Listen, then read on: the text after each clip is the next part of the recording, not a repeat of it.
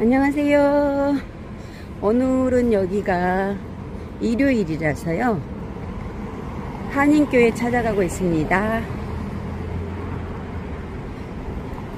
걸어서 한 10분 걸린다 해서 걸어서 나왔습니다. 특이하게 또 오후 1시에 예배가 있네요. 근데 걷는 이 길이 너무 시원하고 상큼하고 그늘져서 너무 좋습니다. 한국은 어제가 일요일이었죠. 시간이 좀 여기가 늦게 가니까 마리맘이 이곳에 와서 한 하루가 젊어졌어요. 한국에 돌아가면 뭐 비록 반납은 해야 되겠지만 그래서 열심히 걸어가고 있습니다. 사람이 많은 것 같은 하와이가 이렇게 보면은 그다지 많지도 않는 것 같아요. 서울은 돌아다니면 사람들끼리 부딪히고 막 그러잖아요.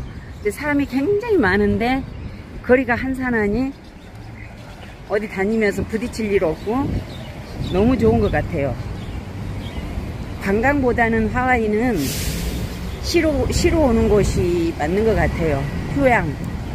휴양이 필요하신 분. 나는 관광이는 힘들어. 그냥 힘이 필요해 하는 분들은 이런 데 오시는 게 딱 적합한 것 같아요. 사람도 많지 않고. 심심하면 한 번씩 밖에 나와서 볼거리도 보고 맛있는 것도 사 먹고 이분은 음 하와이 노숙자입니다. 집시 오빠 지나갔어요. 여기 이렇게 보세요. 닭들일까? 뭐 닭 같은 게 저렇게 있을까? 병아리. 병아리까지 나왔는데, 어, 참 신기하네요. 요. 닭하고 병아리들이 있어요. 노, 노, 저, 쟤네들도 노숙하나 봅니다. 길을 걷다 보니, 와, 이거 선인장 같은 예전에 그 저희 시골집에도 있던 가시 같은 선인장인데 이 꽃이 이렇게나 예쁘게 피나 봅니다. 와 이렇게 이 꽃이 져서 아쉽기는 한데요. 이 뿌리 좀 보세요. 무섭습니다. 무서워. 이런 아이들을 보면 저기 숨어 있는 꽃 너무 예쁘죠. 이렇게 가시 같은 곳에서 꽃은 이렇게 예쁘다니 대박입니다. 우리 짝꿍. 우리 짝꿍 뒷모습인데요.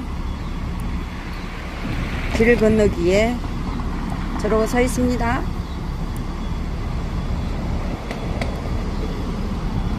아이고 다리야 아이고 허리야 막 난리치면서 쫓아다닌 마리맘 때문에 아마 힘들기도 할 거지만 잘 데리고 다니고 있습니다 마리맘 짝꿍이랑 오늘 마리맘이랑 이렇게 커플룩 했어요. 보이시죠?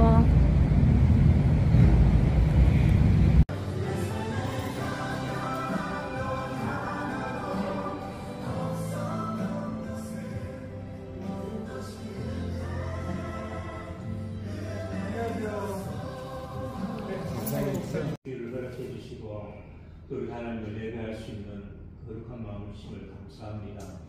또 말씀을 통해서 우리에게 도전 주시고 가인의 길이 아니고 아비의 길을 걸어갈 수 있는 우리 모두 되게 하여 주시옵소서. 아버지 하나님 이렇게 귀한 어, 다과의 손길을 통해서 축복하시고 또 계좌할 때 하나님의 풍성한 은혜가 우리 가운데 임하게 하여 주시옵소서. 아멘. 감사합니다.